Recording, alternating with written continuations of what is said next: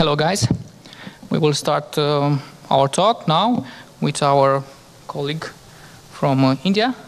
Yes, relating to extracting channel heads from digital elevation models using machine learning techniques.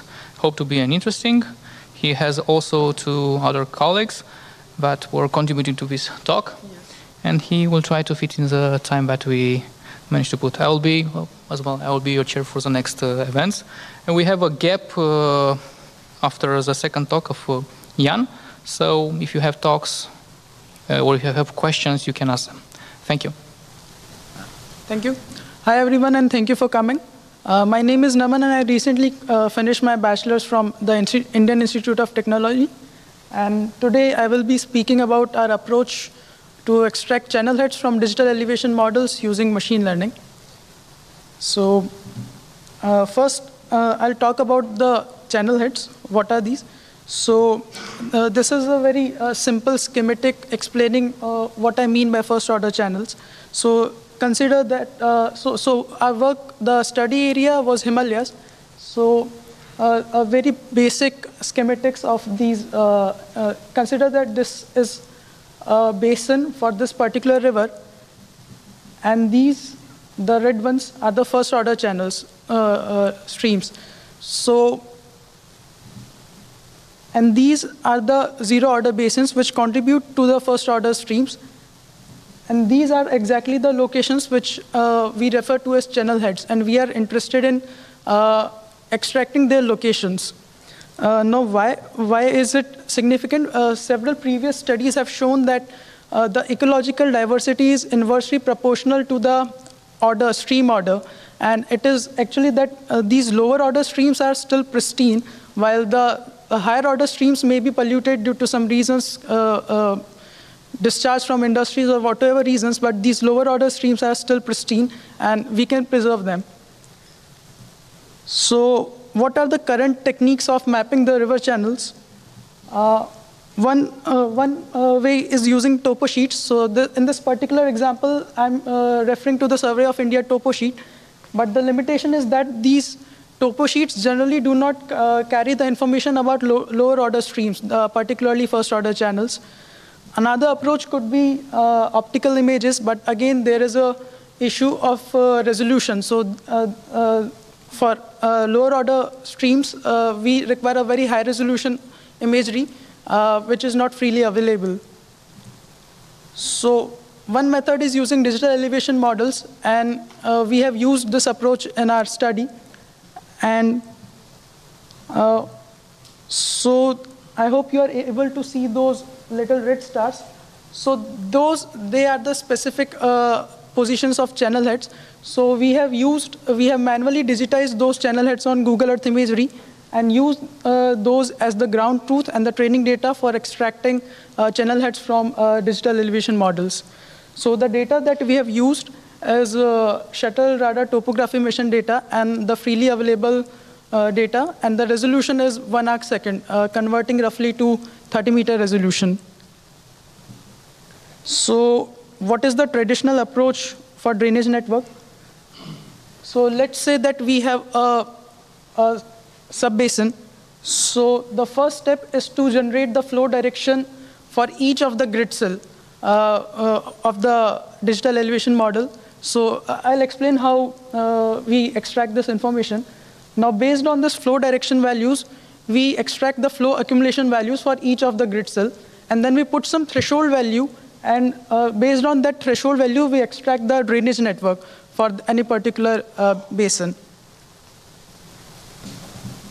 So let's consider an example uh, of this uh, 5 by 5 digital elevation model. The numbers that you are seeing here uh, each uh, number in any uh, grid cell represents the elevation value of that particular area. And the size of this each grid cell is 30 meter by 30 meter. The resolution is 30 meter by 30 meter. Now, for so the flow direction is calculated by using the gradient 8 algorithm.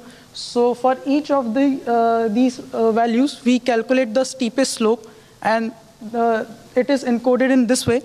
And for each, and using this flow direction matrix, we calculate the flow accumulation values. So let's take the example of this particular cell. So for in this particular cell, these five uh, grid cells are contributing uh, to that area. That means the water from these cells, uh, these five cells will be flowing to that value. And hence, the flow accumulation value of that particular cell is 5. Now we put some threshold on this value uh, to extract the uh, drainage network. Uh, some previous studies have shown that uh, it is actually a better approach to incorporate the slope value as well. And generally, the product of area and slope square is used for extracting the drainage network. So coming to the objectives, the first step is to digitize the, uh, to select first, to select some subbasins and to digitize those on Google Earth and to use them as the ground truth.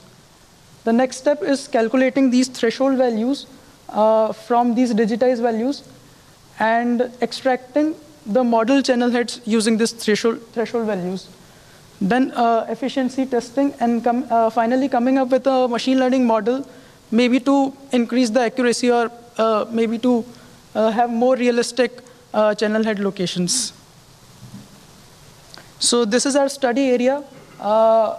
so this is the Ramganga basin in the northern part of India, Himalayas. And we selected four sub-basins in this region.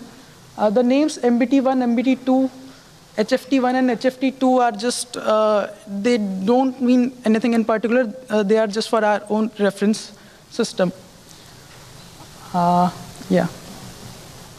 So these are some of the results. Uh, please, uh, I would like you to focus on that there is a uh, difference in the uh, order of one uh, between the threshold values of uh, based on area thresholding and slope area thresholding, and for uh, for each of these subbasins. So here are some of the model stream network. So for each of the subbasins, this is the digitized Google Earth image from Google Earth imagery, and this is the ground truth. And these are the stream networks obtained using based on area thresholding and slope area thresholding. From now on, we will particularly focus to one particular uh, sub-basin, that is uh, this one, HFT1. So I would like you to focus on these two particular regions, this one and this one.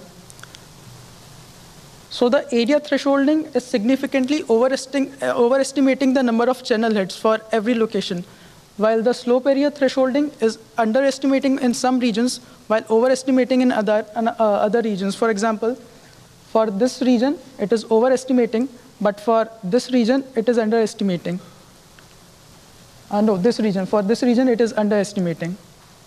And hence the need for machine learning, because we know that the, the channel initiation function not only depends on slope and area, but it also depends on many other factors.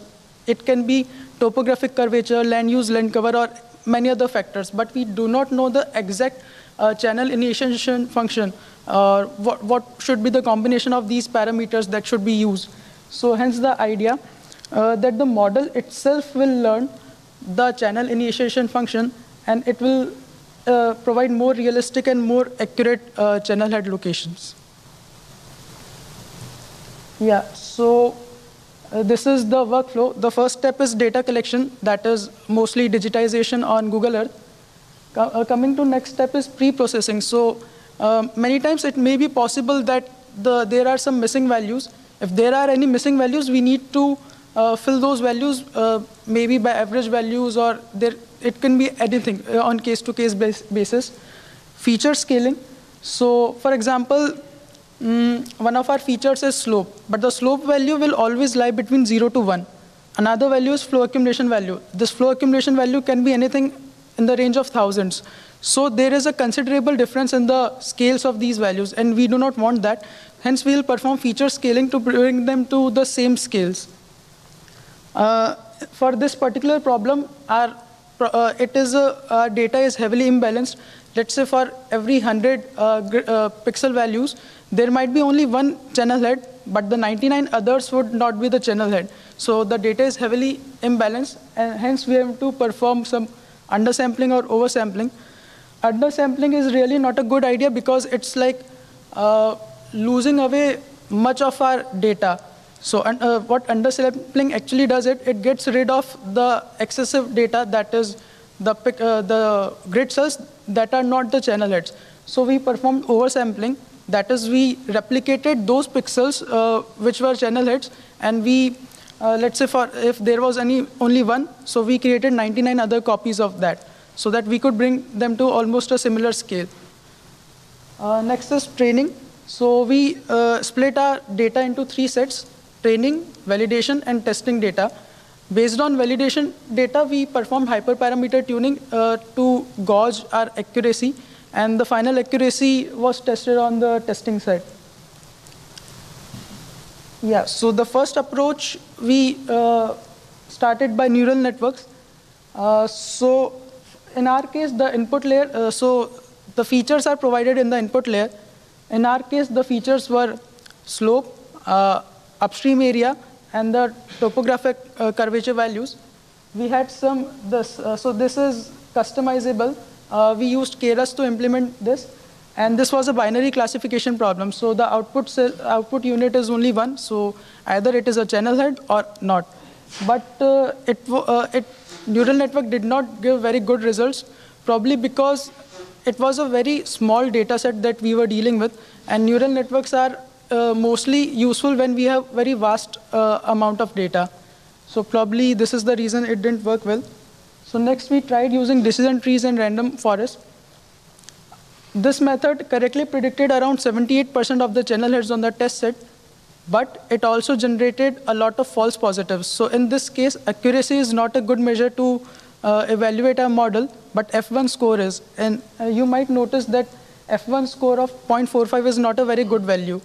Uh, so I'll try to explain why these may be the reason. So one reason that we believe uh, is due to the significant difference in the resolution of data. So these channel heads are usually in the dimension of 0.5 meter to 2 meter, but the data that we had was 30 meter uh, uh, resolution data. So theoretically, uh, let's say that the, here is a channel head, and it might only the surrounding area might contribute to for its initiation, but let's since the data was very coarse, it was learning, the model was learning from very far regions, which may not be the actual uh, case real, realistically. Lack of field data. So the ground truth was mapped on Google Earth imagery, uh, and there is always a scope of human error because in some cases there was subjective digitization because let's say the, uh, there is a region uh, which has very high vegetation.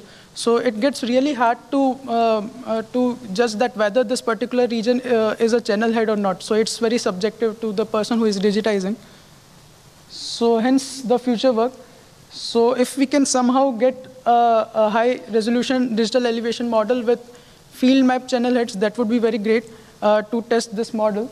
And incorporation of other forms of data, maybe RGB data or uh, shortwave infrared data that can provide us uh, with insights that whether this particular region contains the moisture or not. Because if it contains moisture, then it is probably high chances that this particular region is a channel, and hence it will help us in eliminating some of the false positives, uh, thereby increasing the accuracy of the model. Uh, that's it. The code is available here. If there are any questions or suggestions, please shoot.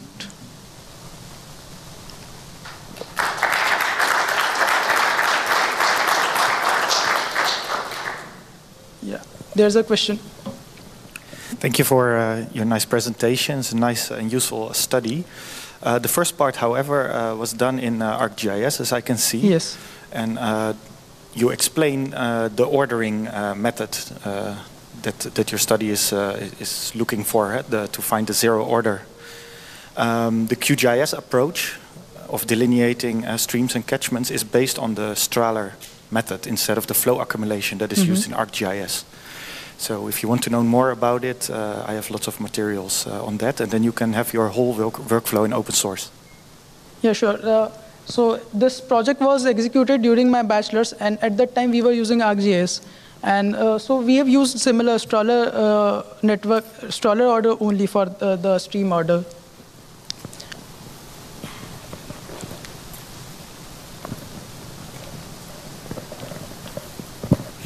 Thank you for the interesting presentation and also for explaining the methodology so clear.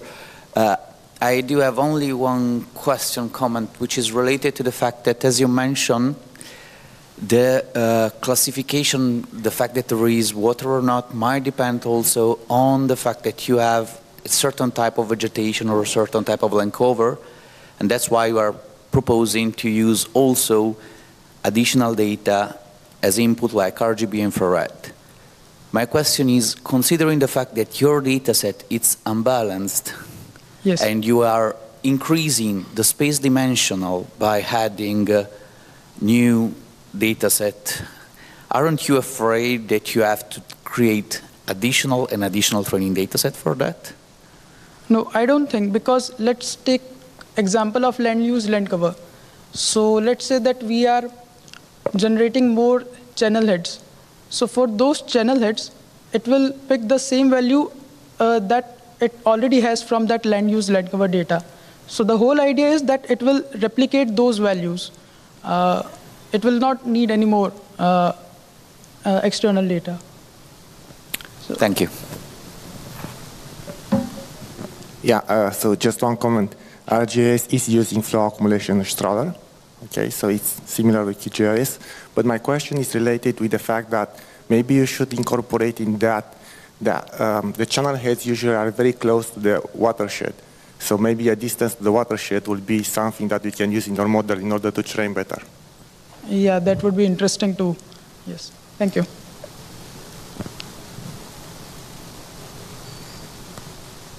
More questions? No. Thank you. Thank you very much, Naman.